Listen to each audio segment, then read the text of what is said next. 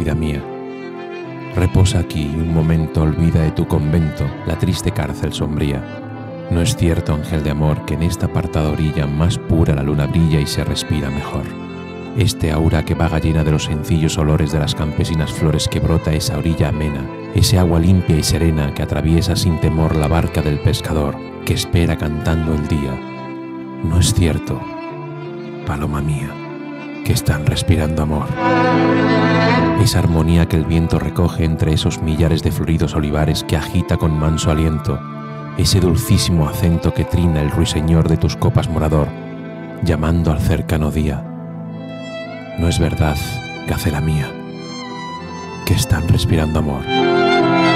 Y estas palabras que están filtrando insensiblemente tu corazón ya pendiente de los labios de don Juan, y cuyas ideas van inflamando en su interior un fuego germinador no encendido todavía.